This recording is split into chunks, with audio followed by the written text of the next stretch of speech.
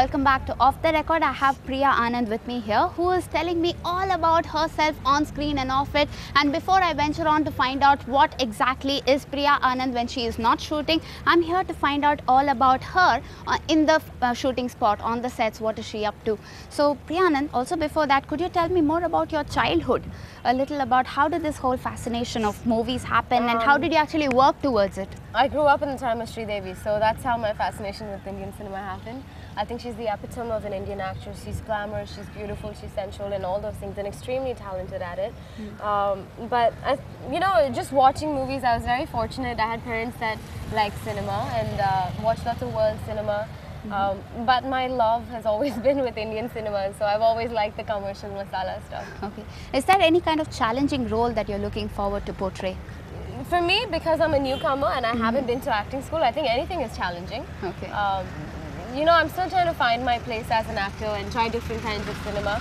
Uh, every role has always been different from the other. So I'm hoping to continue this. Maybe in two years from now, I'll be able to tell you what my dream role is. But as of now, everything is my dream role. Okay.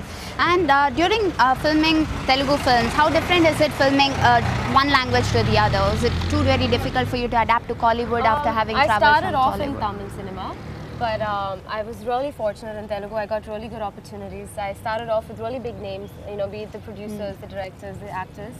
Um, I would really, uh, I'd have to say this that uh, the Telugu audiences has been very kind to me. They've uh, really welcomed me with open arms and they see me as Amgavi to Ponnu Madri Pathakragana. So I've, uh, I'm very grateful to them for that, and um, I feel a lot more comfortable there. I mean, maybe because of the last two films of mine were in Telugu, that I meet the press more often over there, and I have more of an interaction with them. So I was really excited about 180 being a bilingual film to kind of uh, come back to the Tamil audiences. But speaking of difficulty, uh, you know, I speak Tamil and Telugu, so even with 180 being a bilingual film, it wasn't so hard for me. The language wasn't a problem. Right.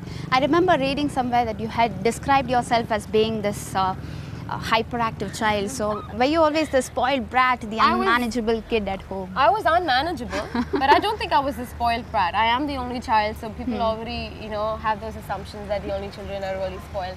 But um, brats that I've always been. But I've always been very chatty. I'm a people's person. I like talking to people. But that's also been very helpful, you know. Um when I started off with Leader, I didn't really speak Telugu so well. Um, but you know, talking to everybody on set has really helped my language and helped improve that. Right. So um, when you when you decided that you want to get into films, how did uh, how did your family react to it? Were they always very supportive? They were extremely supportive because they knew I was really passionately driven and I wasn't going to take no for an answer.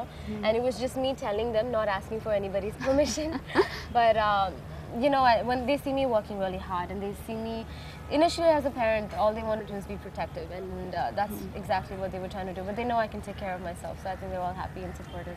And what are your other interests apart from acting? I'm, I'm a loser. I think everything I do in my life is related to movies.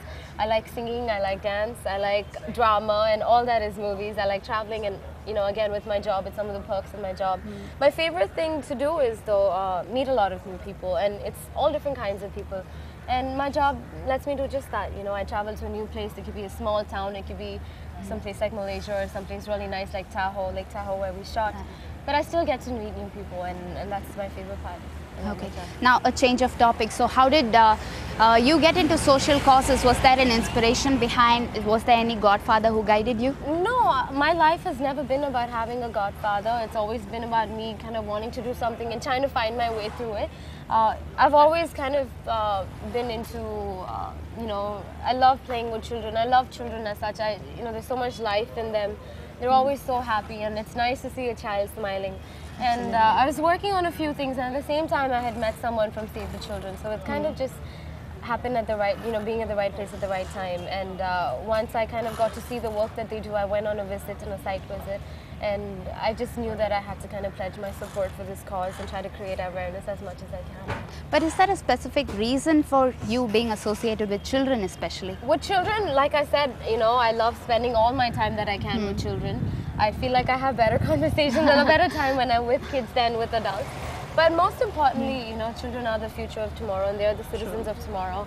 And I want to make sure that every child has the right to their future and to a better life because I had that. I had wonderful mm. parents and a wonderful support system.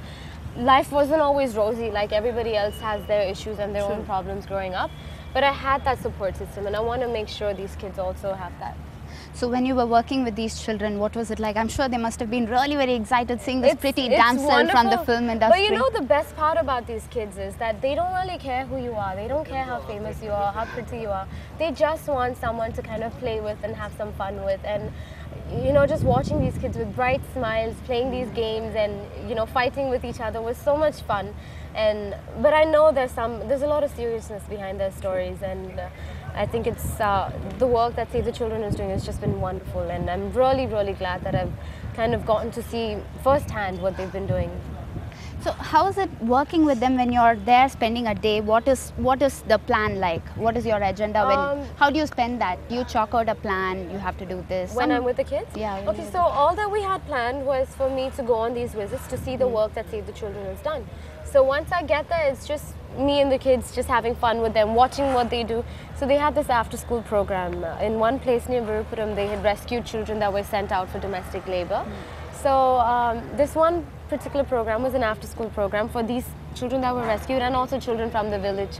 And they were just having a blast. Like, you know, they were playing games, uh, they were dancing, they were singing. And my favorite part about this program is that they had, uh, they were teaching them Tirukural and lots of other things, which has lots of life lessons in them. So these kids are educated on how to be better citizens. do you also partake in some of these teaching classes and things like As that? of now, no. I'm just kind of really new to this whole process. I'm trying to get to learn as much as I can about uh, the issues of child labor in India and um, and also the work that Save the Children does. But eventually, this is a long-term connection that I'm kind of long-term hmm. bond that we're forming, and I'm hoping to do a lot more eventually. Okay. I heard you even shared a meal with them. So I what did. was that like? The meal was khichdi. It was like pongal with some vegetables, and you know it was quite yum. And the teachers prepared themselves for these kids. So I thought, hey, why not? Let me try it and see how the food is. And it's it's quite nice.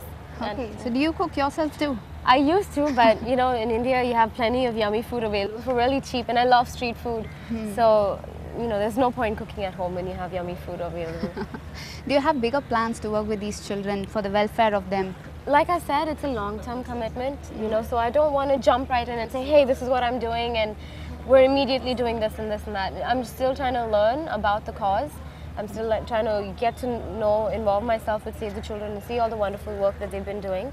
And uh, eventually, we'd like to kind of develop new things and try to see what my place is with this organization and how it is that I can take this relationship forward.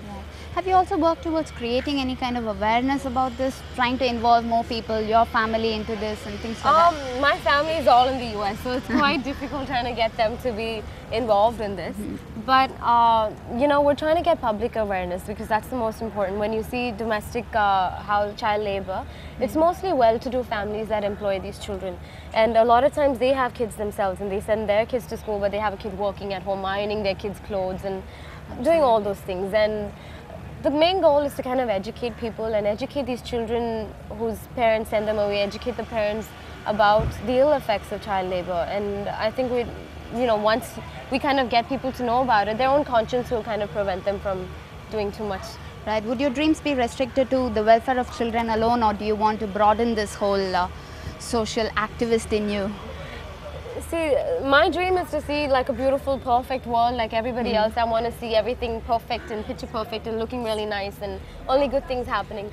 But unfortunately, uh, if I kind of uh, spread myself too thin by you know getting involved in different causes, then I'm not going to be focused so much on this issue. And this issue is most important. Children don't have a voice to speak out, and it's it's important that someone does. And I hope I could kind of help them in that process.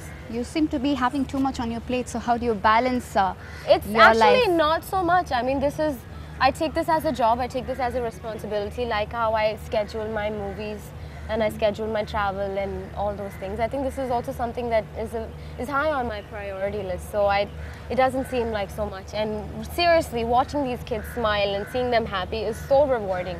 And it's really not that I'm a celebrity or I'm an actor that they have all this joy in their faces. It's just because they're really happy to kind of see someone take interest in them. And I think uh, it's important that as citizens we all. That's really lovely. You've actually inspired me to actually work, go into an orphanage or go into some kind of a cause and Oh, work I'm towards so it. glad.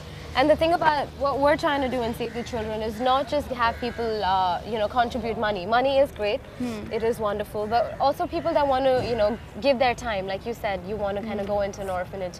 So just for people to kind of, they can log into our website. It's www.savethechildren.in. Uh, get more uh, knowledge about what's going on in our country, in our state. I mean, let's just look in our neighborhood first and then kind of um, spread the word elsewhere. So get involved. Uh, you can always volunteer your time. You can meet these children. You can see the wonderful work that you know this organization has been doing, and um, see where the money goes. And then if you want to contribute, or you know any any kind of support is good enough right now. Is there any other campaign that you were working on, especially with the Save the Children or any other? Uh, no, we're just starting off. Like I said, uh, it's my first month in. This is very new for me and for them to have me on board. uh, so, you know, I was kind of busy and caught up with 180's release. So we're hoping that soon, now that I'm wrapping up with the film and the film's out, that um, I start going to more site visits. To Save the Children also works, uh, worked a lot with the tsunami relief. So my next uh, agenda on the list is to go meet the tsunami beneficiaries, which I'm really looking forward to. Okay. I'm sure just as you have uh, big plans for the welfare of children, she has bigger plans in the film industry as well. She'll tell you more about it soon after this break.